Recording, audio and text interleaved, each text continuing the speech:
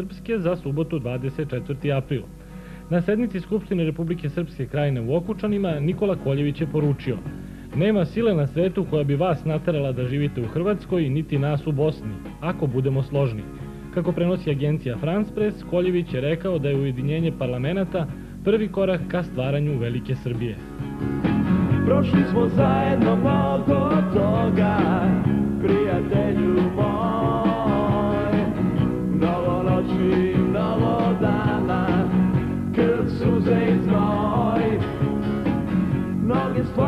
Više nisu iste, vremena se menjaju.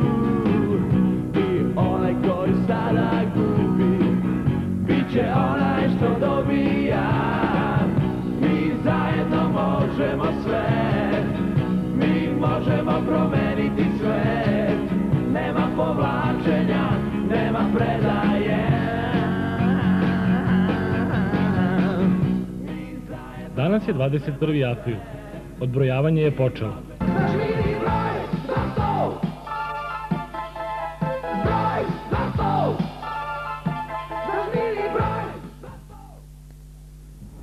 Da, odbrojavanje je počelo, ali treba znati i dokoliko brojati. E, naime, često se spominje kao D-Day ovaj 26. april, kada se očekuju rezultati e, E, referenduma u Rusiji. E, spominje se i da je to neki rok do kada bi Srbi trebali ili da prihvate ili da odbace Vencove nove mape, ali pažljivo čitanje teksta rezolucije Saveta bezbednosti koja je usvojena 17. aprila, da podsjetim, e, kaže se da sankcije stupaju na snagu 15 dana posle usvajanja rezolucije. Da li u pitanju neka kontradiktornost i koji je onda rok u pitanju? Da li imamo 5 dana, 6 ili ipak više? Ako, su, ako je rezolucija usvojena 17. aprila, 15 dana od 17. to je 2. maj, znači, ali se daje mogućnost, koliko sam ja razumela, i Butrosu Galiju da i ranije, znači ako je taj rok 26. da se primeni 26. ali ostaje i mogućnost da se ne primeni ni tada, nego da bude i čak posle tih 15 dana, posle 2. maja, ukoliko Butros Gali proceni da ima ovaj napretka u mirovnim pregovorima i da se taj produžetak isplati. A šta u slučaju da Butros Gali ne podnese baš nikakav izveštaj do, recimo, drugog? Onda, o, o, pošto je rok nama za potpis, u tom smislu jeste kontradiktorno, ali pošto je nama rok za potpis 26. može se računati da bi to bio dan DEM, međutim sama rezolucija kaže da je to 2. maj. Prema tome, tih 7 dana mogu puno značiti. A taj 26. e, da li je to rok, to je rok koji ne piše u tekstu rezolucije? Ne piše. To je rok koji je dat e, bosanskim Srbima za potpisivanje, a to se, e, rezolucija je samo uslov ukoliko ne potpišu da će biti primenjena do tog roka, od tog roka ako ga e, oni ne potpišu. Očekivalo se da će sama rezolucija biti usvojena tek 26. Zbog čega se požurilo sa usvajanjem? E pa znate šta, u nedostatku informacija punih i potpunih, a vi ste vidjeli recimo danas je gospodin Oven došao, ovde nije hteo ništa da izjavi, e, imamo vrlo štura saopštenja sa njegovih susreta sa predsjednikom Čosićem i sa predsjednikom Miloševićem. Čuli smo čak i podatak, ne znamo koliko je to provereno, da se sastao i sa generalom Mladićem, e, a Lord Oven je rekao da on nema nameru da pregovara pred publikom. E, u toj situaciji kada nema informacija, moguće su razne špekulacije i kalkulacije. Prema tome, ne znam koliko je umesno da se mi bavimo time, ali ovaj, očigledno i štampa i svet prognozira. Prema tome, od varijanti da se čeka ishod referenduma u Rusiji. Evo danas, svaki dan se menjaju, ovaj, menja situacija. Ako je juče izgledalo da će Jelcin po nekim tvrdnjama da padne već danas odlukom Ustavnog suda, izgleda da neće pasti. jer Nije potrebno ona 51 od 100 ovaj, procenat ukupnog biračkog tela, nego samo većina od onih koji izađu na izbore. Tako da ima puno razloga za kalkulacije, ali očigledno uslovljavanje, uslovljavanje je produkovano situacijom i eskalacijom stalnog rata u Bosni i mogućnošću da se taj rat proširi. Prema tome, to je jedan od razloga što se žuri, a iza toga su mnogo teži politički razlozi ovaj, u koje ja u ovom trenutku baš ne bih htjela da uđem. Kolega Vukmanoviću.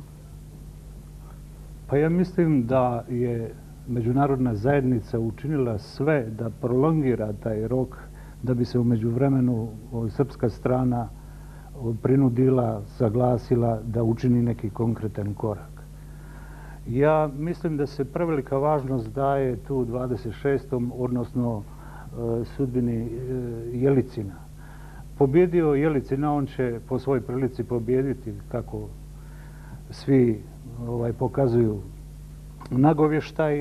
E, ovaj, srpsko pitanje mora se rješavati iako pobjedi opozicija. Ja ne, ne vidim da će u slučaju pobjede ove druge strane doći tu do nekakvog kvalitativnog preokreta. Ja mislim da je to jedno vrlo iracionalno samopouzdanje da će e, promjenom vlasti u Rusiji biti olakšan posao Srbima na Balkanu.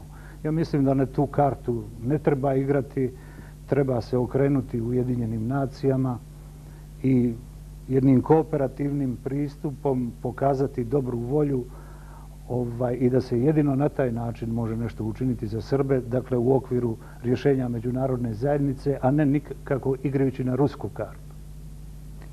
Kolega Samarđiću, da li mislite da možda srpska strana odugovlači sa konačnim prihvatanjem ovih Venisovenovih mapa, eh, iščekujući pre svega rezultate referenduma u Rusiji ili je nešto drugo pitanje? Već je u svakom slučaju da odugovlači naša strana i treba da odugovlači. A pre nego što o me kažem, teo bih, eh, ako u principu, vidio sam e, pre našeg razgovora išla je ova špica. Ispala je da, valjda povuka je da Srbi tamo ubijaju desu u Srebrenici. Ja mislim da to nije, nije realno, nije tačno, nije dobro tako ne treba da bude. Vjerovatno ste vi uh, kao televizija po tome jedinstveni. Nisam nigde čuo zaista. U Beogradu srpska televizija prikazuje kako vojska suprotna Srpskoj ubija a bi, uh, kako srpska vojska ubija nečiji decu. Naprimjer, kad je ratovala Amerika s Irakom, vi niste u Americi mogli vidjeti da Amerikanci ubiju iračku decu. I bilo gdje da, da radimo tako. Ja sam protiv onog što mora da bude. Da mi objasnite, jel vi osporavate da su slike verodostojne ili osporavate to što mi puštamo? Ne osporavam. Ne osporavam. Reći ću, nema problema. Teo sam da kažem, teo sam da kažem da ja sam protiv toga što mora u takvim slučajima da bude. Dakle, mora da bude ratna cenzura. Šta je radila Amerika sa fotografijama koje dolaze iz, iz Iraka? Nije ih objavljivala, to su pravila rata. Ja sam protiv toga, znači da mi ovdje cenzurišemo, ali u najmanju ruku mi moramo da budemo objektivni. Znači da, a nije objektivno kada mi samo puštamo da, da Srbi ubijaju muslimansku decu. A šta, šta je sa zajednicom i Tuzlom, na primjer? Ja poznano znam Ja mislim da niste shvatili priloga. Pojenta priloga je bila u tome da je e, cijela drama oko Srebrenice bila neposredan jedan od povoda da se rezolucija Savjeta bezbednosti donese ranije pre 26. koji je bio inače najavljen rok da se rezolucija donese. Da, oprostite, a zašto nije drama Srbu u Tuzli povod da se donese rezolucija protiv muslimana? To pitajte Savjet bezbednosti, ne mene. Vas, ja pitam vas zbog vaše emisije, vaše priloga. Ja gledam vaše televizije. Kada bude Butros Gali podno izvešte, Savjet bezbednosti donao rezoluciju zbog Tuzle, naravno da ćemo pustiti. Da shvatimo tu njihovu igru. Da oni izvlače Srebrenicu kao jedan od gradova u kojima manje ili više su sadio Srbi ili muslimani. Negde sadio više muslimani. Da li mi smo novinari na nama je da prenesemo događaje, a ne političari da... realno. realno. A realno je da stade tamo i muslimani, i srbi, i hrvati. Svi, a ne samo, a ne samo da srbi nekog ubijaju. Mi ovakvim izveštavanjem prihvatamo tu znači njihovu igru.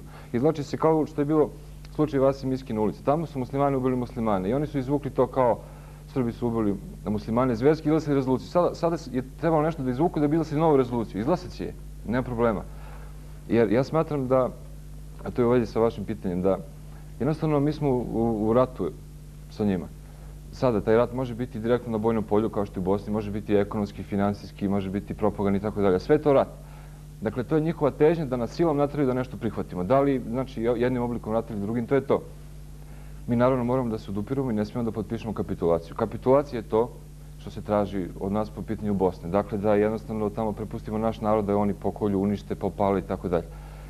E sada, mislim da oni neće vojno da intervenišu. Ako intervenišu, to je Oni rade svoj posao, mi moramo naš, dakle moramo da se branimo. Mislim da oni, po pitanju ovih sankcija, isto ne mogu ništa da učine. Jer vidite, na primjer, ja, znate, rekao sam vam juče da danas sam mnogo zauzeti da sam jedva stigao na ovu emisiju. Radio sam neke uvozne poslove, znači uvozne i izvozne. Mi to normalno radimo i mislim, hoću namjerno da kažem, ovaj, zato što čini mi se da treba reći, neću vam reći ništa konkretno, to je, može biti, može, može da mi škodi, ali mislim da to treba reći zato što se stvara utisak da eto mi pod blokadom Srbije ne može da izdrži, mi ćemo da, da podcrkamo gladni, daj da prihvatimo da, da ne, sve što oni traže od nas, pa nećemo ništa da prihvatimo, mi možemo da izdržimo sve što oni od nas, ovaj, sve što, što oni nas pritisnu i moramo, jer drugog izlaza nemamo. A što se te blokade tiče, koja će biti još strožije još više izlasana, to je nemoguće, znate. Da li vi znate da nema, da nema mosta na reci Dunav između Bugarske i Rumunije?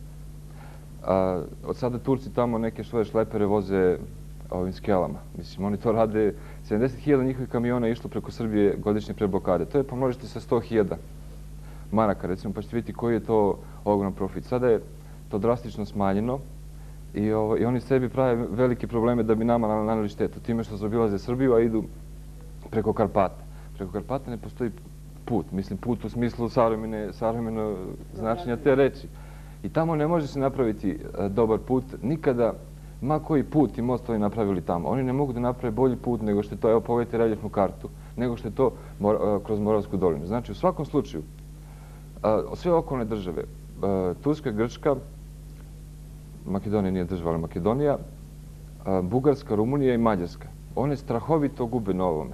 I, njima, I oni nikada neće pristati da oni 100% sprovedu, kažem oni, mislim, nije važno, Amerikanci i tako dalje, sprovedu blokadu protiv nas. Bolje reći je umjesto Amerikanci tih 20 ljudi koji po mišljenju to sve vuku.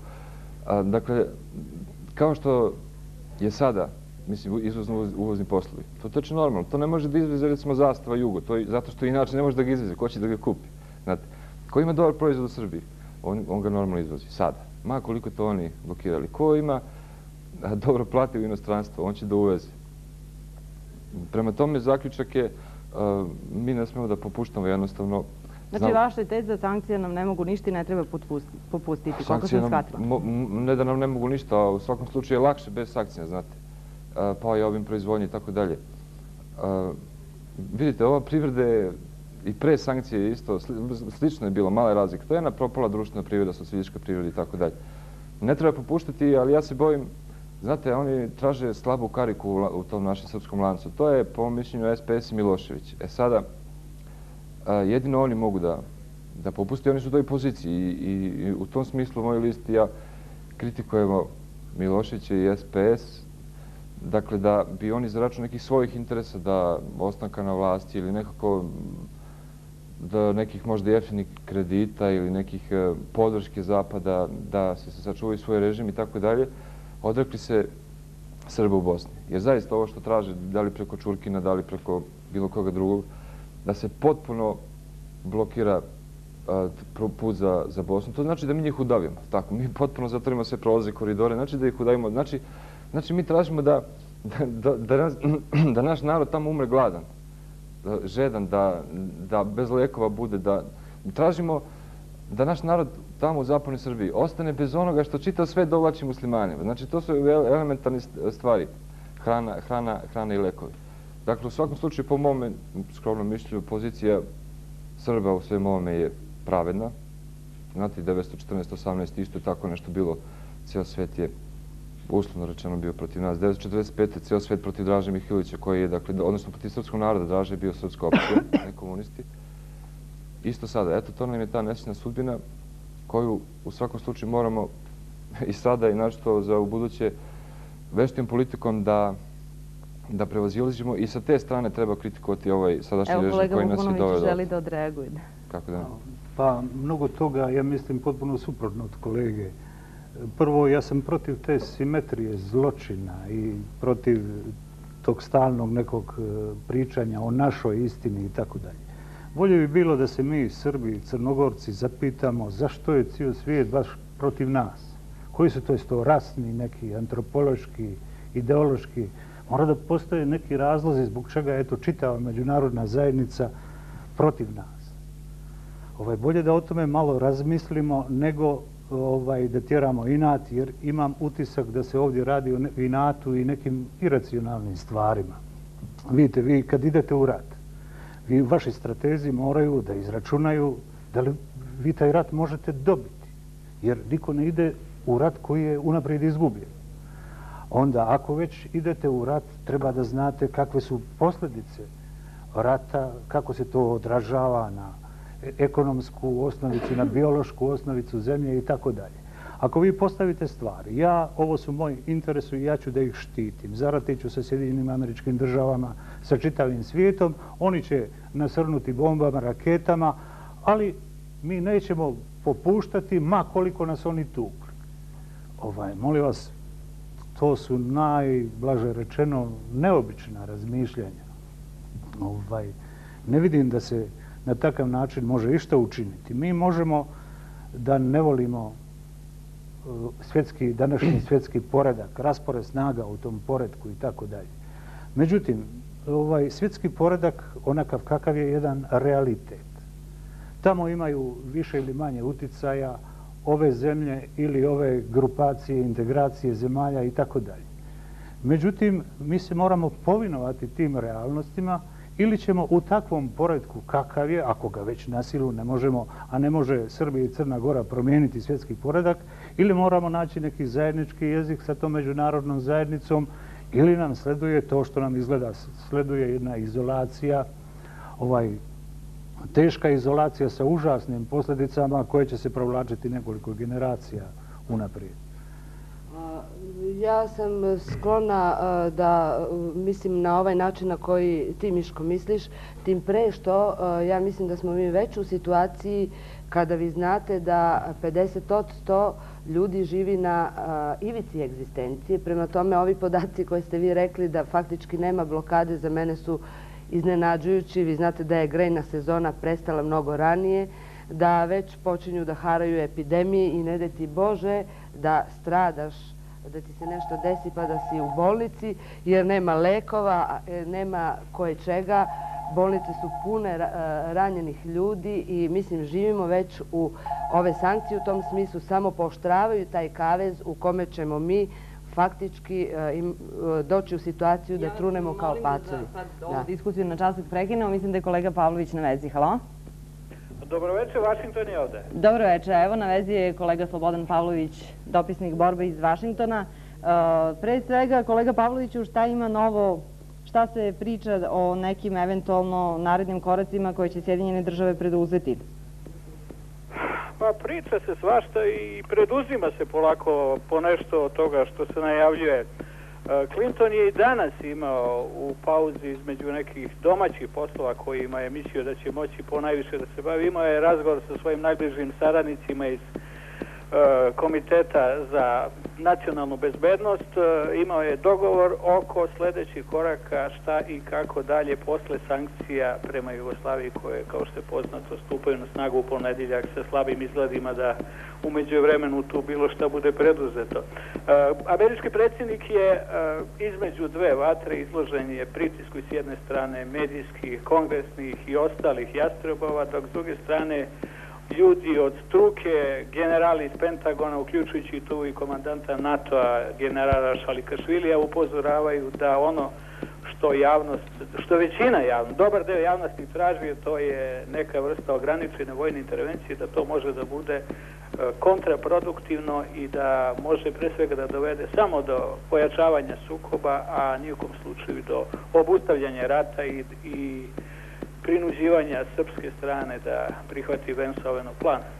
Inicijative idu naravno u pravcu Saveta bezbednosti koji je sinoć zasedao i gde je također bilo dosta neprijatnih najava na račun onoga što bi moglo da usledi za koji dan. Govori se ovde o tome da e, u Savetu bezbednosti već cirkuliše nacrt e, nove rezolucije koji su, uh, E, koji su napravile nesvrstane zemlje. Ili možete nešto malo više o tome da nam kažete? Nesvrstani od ponedeljka, u stvari to je predlog jedne rezolucije koji se kuva u Savjetu bezbednosti od ponedeljka, je o inicijativi pet nesvrstanih zemalja koje su, kao što se zna, u sastavu Savjeta bezbednosti. Tu su tri islamske zemlje, Pakistan, Maroko i Džibuti, zatim Venezuela i Zelenorodska ostrva, a njihova rezolucija je usmjerena e, pre svega ka pružanju, kako je rečeno u predlogu koji je pred Savjetom bezbednosti, e, pruženje pružanje sve potrebne pomoći Bosni i Hercegovini kako bi se ova odbranila od srpske agresije. E, kad se ovo prevede sa diplomatskog na razumljivi jezik, to znači praktično da se traži skidanje pre svega embarga na naoružavanje muslimanskih snaga, embarga e, koji je Savjet bezbednosti uspostavio u septembra 1991 kao i svaka druga vojna i ostala pomoć koju bi Izetbegović mogao da zatraži od svojih saveznika u inostranstvu i ta pomoć bi mogla da bude na bilateralnoj osnovi, ne samo u sklopu neke e, šire akcije Ujedinjenih nacija. U tom predlogu sinoć je pridodat još jedan član koji je vrlo indikativan i govori o raspoloženjima i kretanjima u Savetu bezbednosti. Naime, nesvrstani su pored svega ovoga zatražili odnosno prvo su proglasili e, Jugoslaviju odgovornom za rat u, u Bosni i Hercegovini, a zatim su na osnovu toga e, zatražili da se ona obaveže na plaćanje ratnih reparacija za sve štete koje je rat naneo Bosni i Hercegovini. Te reparacije bi se na osnovu obrazloženja koje je dato u okviru ovog predloga e, naplaćivale naplaćivale iz jednog kompenzacijonog fonda u koji bi ušla sva jugoslovenska sredstva koja će od ponedjeljka 26. aprila biti zamrznuta u inostranstvu, misli se tu na financijska sredstva, zatim na nekretnine, poznate da mi imamo zgrade, predstavnište, zemljište i tako dalje van u inostranstvu i što će shodno nedavno usvojenoj rezoluciji Savete bezbednosti e, o dodatnim sankcijama je li biti zamrznuto i stavljeno na raspolaganje eventualnim potraživacima ratne štete. Ako možemo još e, na jedan čas da se vratimo na jedan bitan moment, izgleda je ovdje došlo do male zabune. E, naime, Borba juče prenela integralan tekst rezolucije u kome se kaže da rezolucija stupa na snagu 15 dana od ustvajanja. Prema članu 10. Evo, koleginica Suša mi pomaže.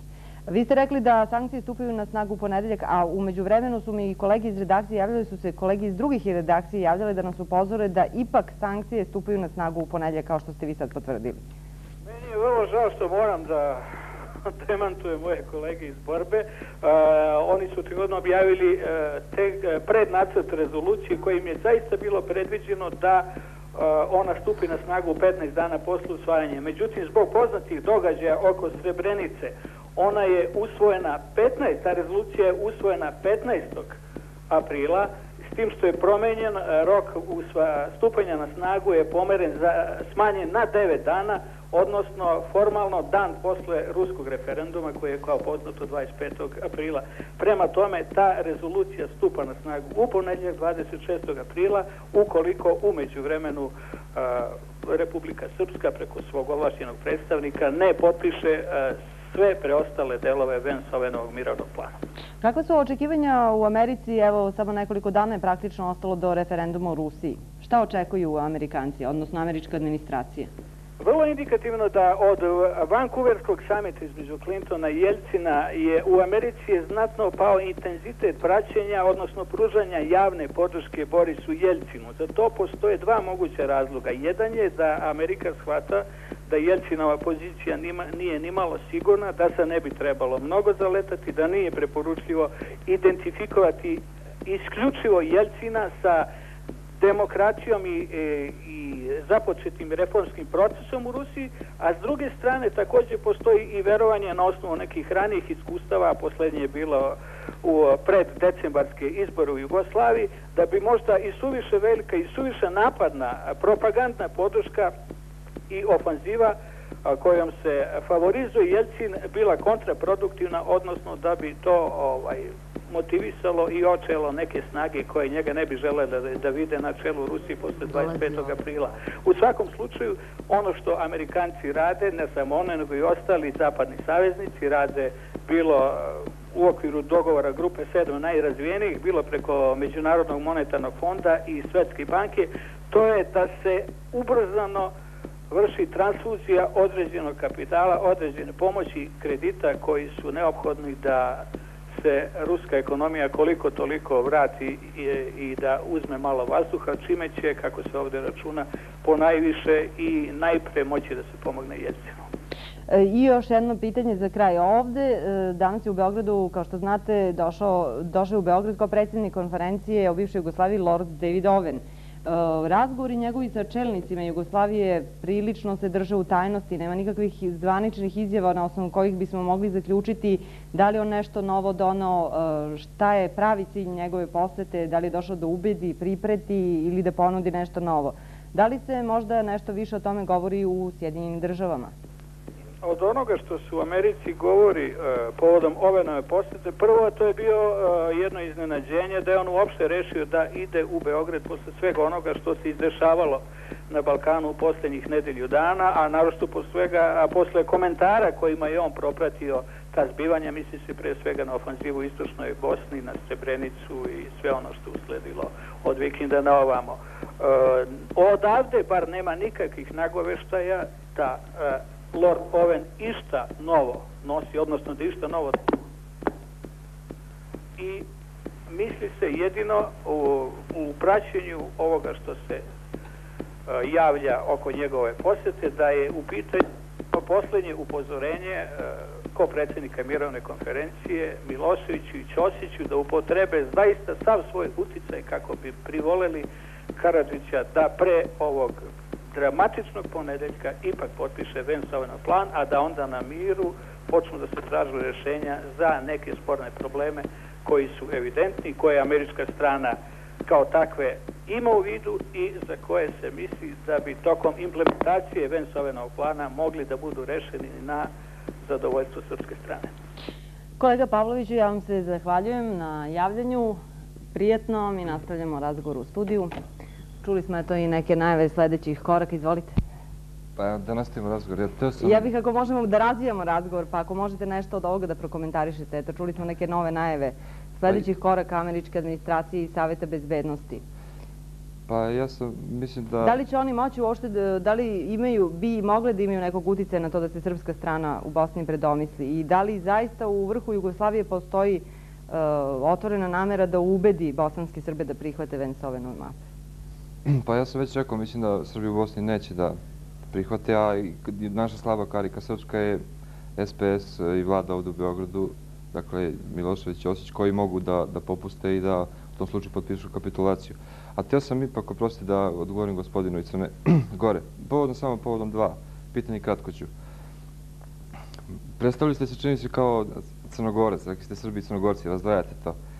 Ovaj, a ja mislim da ste vašim izlaganjem upravo dokazali da niste crnogorac, jer crnogorci, kada crnogorci pozivaju na prediju, stvari vaše govori i vaš stav je poziv na prediju pre borbe, a crnogorci su uvijek bili prvi po definiciji crnogorac, znači prvi u, u boju, a nikako oni koji se predaje.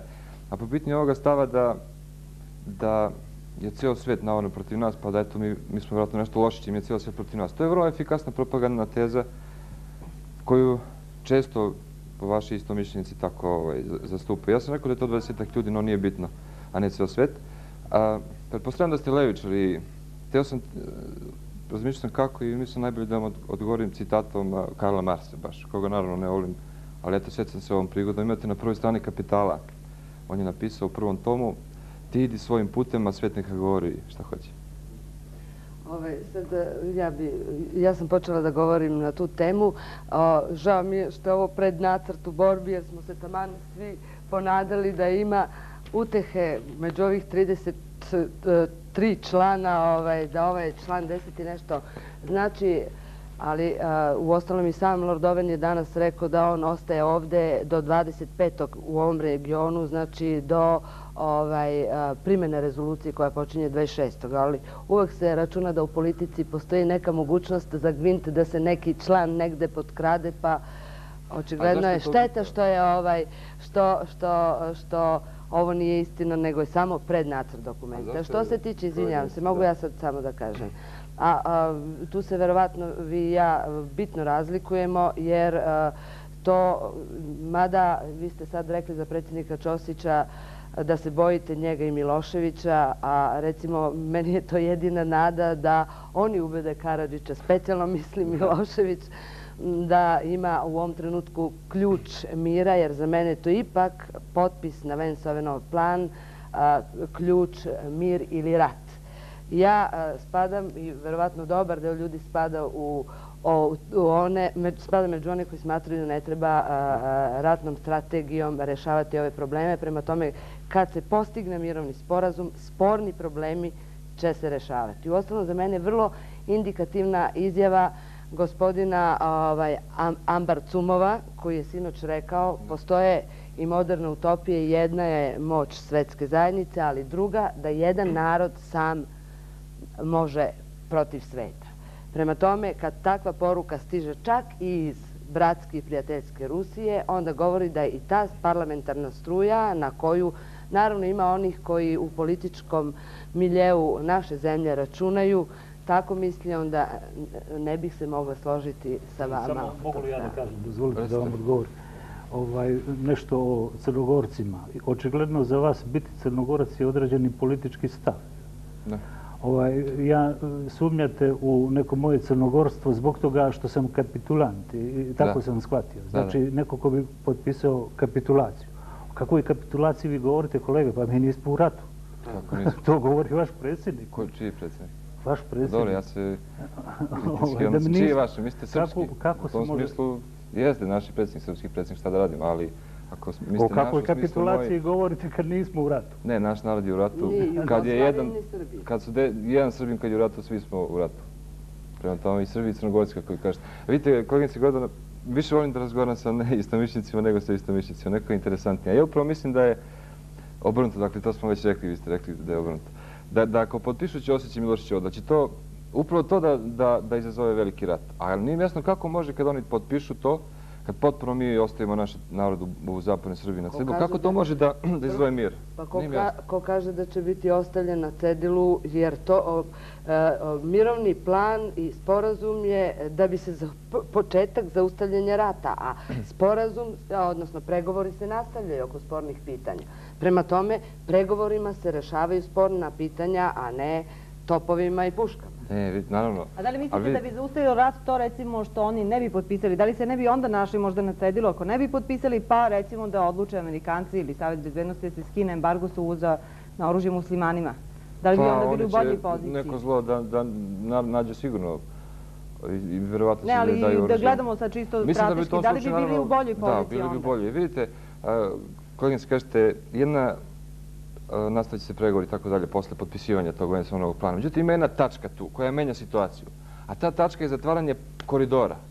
Prema tome, mi ne možemo da pregovaramo. Oni će tamo da umiru u Srbiji, u zapadnoj Srbiji. Oni neće imati, znači, davde ništa, ni lekovi, ni hranu. Molim vas, e, Kako da pregovaraju oni? U svim verzijama postoje plavi putevi. Prema tome, činjenice je da Vance Ovenov im, plan zaista ima mana. To, Da. Mislim, i činjenica je da ona, ona je apsurd, da je on jedino rešenje, ali da je faktički neprimenljivo. Mislim, taj apsurd zaista opstojava. Ali činjenica je da je to jedini papir koji u ovom trenutku može da reši, a, a, a, po- a, reši dramu i da bude početak da se mirnim putem rešavaju stvari. Znači, Vensovenovim planom su predviđeni plavi putevi. Drugo, navodno, a, a, Oven je došao sa nekim predlogom oko koridora. Da. Treće, vi vidite da je ova situacija, pogledajte kako e, izjavljuje gospođa Plavšić da je ovo trenutak za ono istorijsku odbranu srpskih interesa i za početak stvaranja Saveza srpskih Da. zemalja. E sad, ne može se sve u jednom trenutku raditi. Vi ste vidjeli što je gospodin Perčević izjavio iz SPS-a, pa je bio sasvim suprotnog mišljenja. Znači, ne misle... Dobro, ne, oprostite, prekidam vas, ne interesuje me šta je Znači, Pečević da. izjavio, to je SPS. Ali vidite, o- odgovor na ovu moju dilemu je, je vaš, kako rekli ste, plavi koridor. Šta to stvari znači? To znači da će ostati jedan putić e, i sada mi treba da verujemo da će, da, ili tako, muslimani da propuštaju kroz taj putić opremu, pa molim vas, evo kako je Njegoš rekao Turcima, Ostavimo njegov Koliko šar- treba verovati? Kolega, u takvoj situaciji, ako bi se prekinule veze između Da. e, Srbije i Hrvatske sa Bosnom i Hercegovinom, u takvoj situaciji nisu samo Srbi, već su i muslimani. a, pa oni su već Znači, sad- svi su oni zatvoreni unutar nije. te Bosne i Hercegovine. pa njima, svi- njima svi doturio i avionima i Vidite, brotovima. kolega, ja mislim da nije problem u koridori. Nego, u Jest. teritoriju. Problem je u državi. Karadžićeva opcija i ljudi oko njega jeste e, federalna jedinica, konfederalna jedinica unutar nekakve dosta neuhvatljive difuzne Bosne i Hercegovine i nisu to sporni koridori, nego je u pitanju država. Bez prava na državu koja bi se eventualno priključila kasnije preko koridora i tako dalje. Ovaj nedostatak koridora tu samo malo fizički smeta, ali to nije suština. Suština je u državi. Pa dobro, to je Kako mislite, da li će znači biti muslimanska država u Bosni ili srpska ili tri države?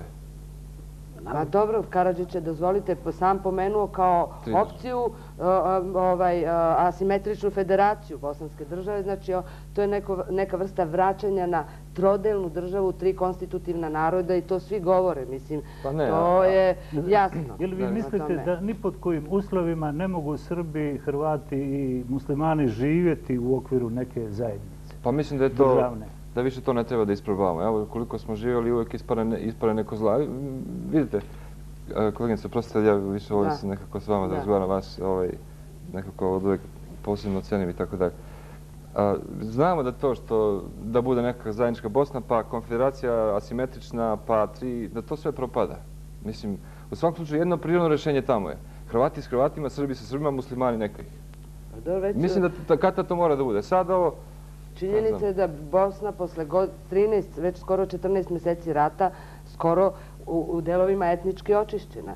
Prema tome, ovaj, to više nije ona tigrasta koža, to je istina. Nažalost, rat je učinio svoje. Da. Ali, e, e, u čemu je razlika o- u- u- o- mog stava od vašeg stava? U tome što jednom treba početi pregovarati i zaustaviti rat.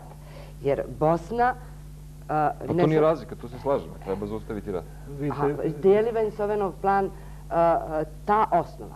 Pa, verovatno još uvek ima nade. Čim danas Oven ovaj, razgovara i sa Karadžićem, i sa Miloševićem, i sa Ćosićem, verovatno to je onaj ultima Ne, ratio, meni- poslednji, drugčije se, posljednja drugčije prilika. se razmišlja onoga trenutka kad je ovaj, kada je mir. Kada vi više nemate tenkove, avione i šta ja znam, e, sva ta sredstva koji možete nekakve svoje ambicije ili... Da, dakle, ovaj, kada nemaju Srbi tenkove avione.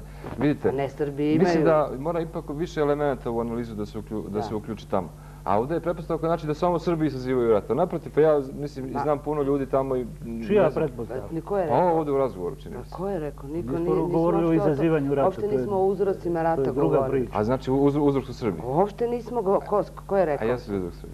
Ma ko, ko, ko je rekao? Meni se čini da je to... Mi govorimo sada Dobro, o, ratu i svim posljedicama koje nas čekaju Da. ukoliko se taj rat ne zaustavi i ovaj, samo o tome. Ali Samo mi se čini da zašto na se ovaj vi način... ponašate kao neko ko je okrivljen? Vi ste nevin čovjek, Dobro, mislim, hvala. A, mislim, uvijek se... kao pojedinac. A mislim da, ali kao narod sam kriv, dobro, nema problema. Ma nije, pa dobro. Evo opet, Nema problema, dobro. Ja sam da vam kažem da pa n- je po, ovo pogrešan način da se uspostavi mir. I mislim da uopšte nije ni cilj da se tu mir uspostavi. Zašto, na primjer, se ne pođe od toga? Sasvim realni uzrok rata je nada muslimana da će Amerikanci kad tad doći i potući Srbe. Zašto se, na primjer, ne, ne, ne, ne, ne pođe od te pretpostavke? Znači, to je uzrok rata i kao uzrok, znači, ako hoćemo mir, trebamo, trebamo ga eliminisati. A koji je po vama način pravi da se uspostavi mir? pravi način da se uspostavi mir. Pa, ipak mislim da on eh, tre- trenutno leži u eh, svetu, naravno da kažem, i da oni, da oni pre svega moraju da utiču na muslimane. Oni su nekako potpuno pogrešno to pošli. Sve, sve, sve, svu težinu toga eh, stavljajući na Srbe i želeći preko Srba da postignu mir. A kako Srbi mogu da postignu mir kad ih stalno napadaju muslimani i Hrvati? Pa onda posle napadaju muslimani i Hrvati, Hrvati i muslimani, svakog svakoga napada. Na tome sve se to mora realno uzeti, uzeti u mir, Dobro. u obzir. Dobro, e, to sad već e, neke abstrakcije. Ja bih sad, pošto smo čuli vaše mišljenje o tome da li će Karadžić i bosanski Srbi potpisati Vensove nove mape, htjela bih i vas da čujem. Da li mislite da će ostati pri tome? Čuli smo čak i neke najave Karadžićeve da bi mogao da napusti mirovne pregovore.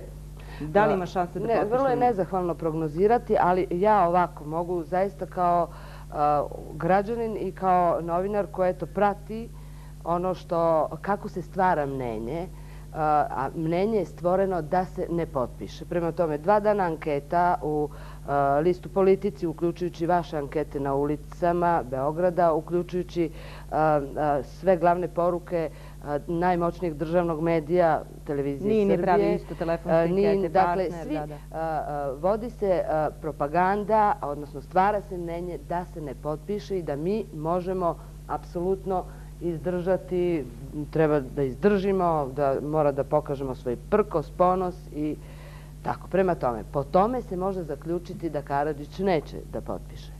E sad, pošto ključeve po analitičkim teoretičarima, ključeve drži u ovom trenutku Milošević, imajući u vidu da se on do sada pokazao kao veoma umešan političar, i da je pravio obrte neverovatne, mogućno je da će Milošević zaista i uticati na Karadžića da potpiše. Ali tada on rizikuje, to je sad domen, verujte, spekulacija. Ako on to ovaj, utiče na Karadžića, evo, bit će ovakvih reagovanja kao kolega što kaže, proglasit će ga izdajnikom, mada bi dobar deo građana i običnog sveta kome se u Srbiji ne ratuje, a Srbija još nije u ratu, ovaj, s olakšanjem uzdahnu običnog sveta kome je osnovni cilj da živi normalno i radi i da ne ratuje i da putuje po svetu ono što svaki čovek želi, a ne da bude u kavezu u koji nas trpaju ove sankcije Ujedinjenih nacija. Znači, tu je sad Milošević, a mene, mene sad, tu su iracionalni razlozi, ovaj, neki, mene je strah, znate, vi kad igrate utakmicu u futbalsku, igrate po nekim pravilima, zna se kad je penal, kad je faul, neko sudi, neko... E pa to je ta priča kako se mi sami diskvalifikujemo i iz svete i svetske zajednice. Mi sebe sami diskvalifikujemo. I sad, da li se diskvalifikujemo da bi formirali neku novu ligu?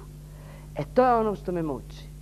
E, koja je to snaga na koju se računa da mi možemo sami preko sveta, zato sam malo pregovorila o Ambar Cumovu, jer i on e, ne misli na način na kako se ovdje stvara mnenje.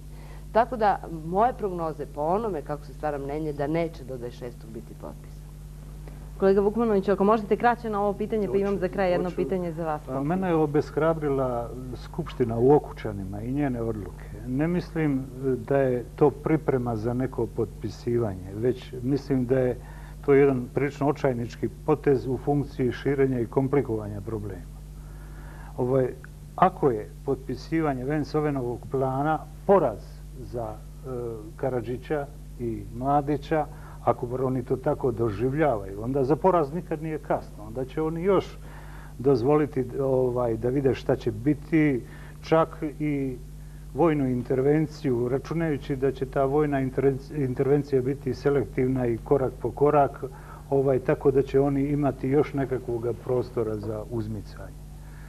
Smatram, dakle, da oni neće potpisati šta više. Mislim da u ovom trenutku E, ni Beograd nije u stanju da utiče na to, bez obzira što mi e, ne znamo što su te veze e, Pale, Banja Luka, Beograd, Mladić, Vojska Jugoslavije, Milošević, vrlo, vrlo tajanstvene, ovaj, tako da mi o tome, nažalost, jako malo znamo.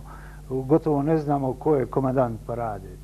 Ne, ali činjenica je da je Kar e, Karadžić zaista jedna osamostaljena politička ličnost koju je dobio međunarodni legitimitet, to je fakat u pregovorima, ali opet ima i tu činjenice, izvinjam se što te prekidam, mislim, u priloge tvoje tezi, on je faktički više putovao po svetu uh, i uh, na pregovorima bio i ovdje u Beogradu i dok on nije tamo, znate, kad nema mačke, miševi kolo vode. Pitanje je da li on kontroliše sve ono što se dešava dole u, u, Bosni. I to je pitanje, jer ima dosta tvrdnji da bi Karadžića, uh, jer tako, ako se ne varam, to svi pričaju, da bi Karadžića bili njegovi kad bi potpisao. Nadam se. To, si, jes, to, to je... Da, da, slažem se. I sad idemo, spomenuli ste i ujedinjenje Skupštine Republike Srpske krajine i Republike Srpske.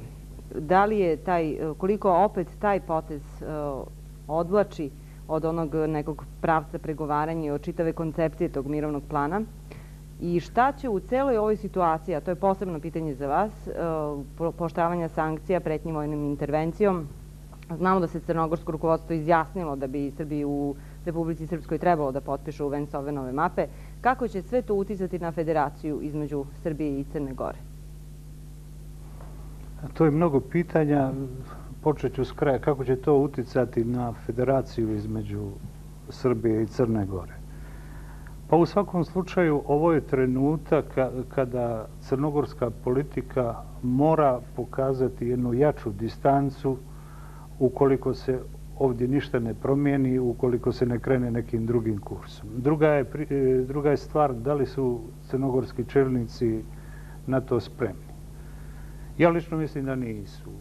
Ovaj, sada je stalno aktualizovano je pitanje i to se sve češće čuje da li će se Crna Gora odcijepiti i tako dalje. E, ovaj, mislim da te priče nemaju neki konkretan povod i čini mi se da su one proizvod nekakvih podsvjesnih reakcija, zapravo da mnogi misle da ovo jeste moment da se Crna Gora odcijepi i da zato postoji jedno logičko opravdanje da bi to bilo čak i koristo i cijelishodno.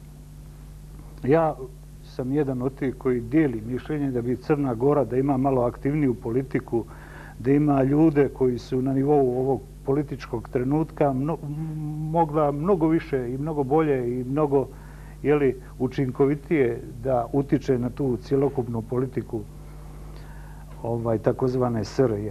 Međutim, da ponovim, mislim da ljudi koji su sada na vlasti u Crnoj Gori nemaju taj štof. A kako je raspoloženje kod građana Crne Gore, da li se zna? Pa građani Crne Gore, ja ipak živim u Beogradu, pa su to sve nekako informacije iz druge ruke, ali posigurno znam da jedno nezadovoljstvo raste, pogotovo što su ekonomski problemi, odnosno standard stanovništva, tamo je čak jače ugrožen nego u Srbiji. A onda sazrijeva jedna svijest da se treba nekako distancirati od te megalomanske politike koja, realno gledajući, nas je dovela u jedan čor sokak, u jedan bezizgled i ljudi sve teže podnose tu izolaciju, a računaju šta se još može dogoditi i tako dalje. To znači da u narodu čak i oni, kod onih koji su bili glasni zagovornici ujedinjenja i tako dalje, sve više rezervi, ovaj, sve više nagovještaja da bi se jedna crnogorska opcija e, nezavisnosti i suverenosti, da bi, kada bi se sada ponovio taj referendum, da bi se Crna Gora, e, da bi većina građana Crna, Crne Gore glasalo za samostalnu i suverenu Crnu Goru. Hvala vam, naše vreme je isteklo. Ja ne znam ako neko baš ima nešto specijalno za kraj da poruči. Ako nemate, u tom slučaju ja vas, poštovani gledalci, pozdravljam do sledeće sedme sile. Onda će se znati šta je na kraju odbrojavanja, šta je na nuli. Dakle, prijetno.